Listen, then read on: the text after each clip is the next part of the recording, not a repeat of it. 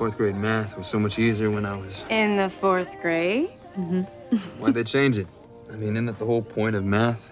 That it doesn't change? It didn't. We just changed the way we teach it.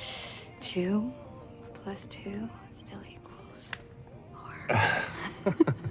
Does it? I mean, I can understand why Christopher's having such a hard time with it. You know, my offer still stands. I'm more than happy to come over and help Christopher with his math. I wouldn't feel right putting you out. Edmundo, I'm not trying to pressure you into telling Christopher about us. I know there hasn't been anyone else since he lost his mother. And Christopher's a very sensitive boy.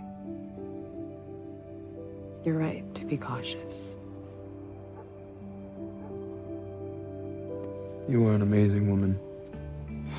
And a great cook. Hmm. But you are a terrible math teacher. Sure, blame the teacher. That's what all the lazy students do. Lazy. You heard me. Well, maybe you need to keep me after class.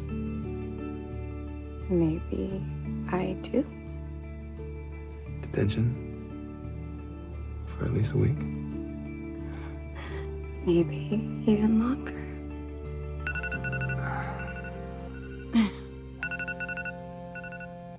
Sorry. Again. Promised Chris I'd be home in time to tuck him into bed. Class dismissed.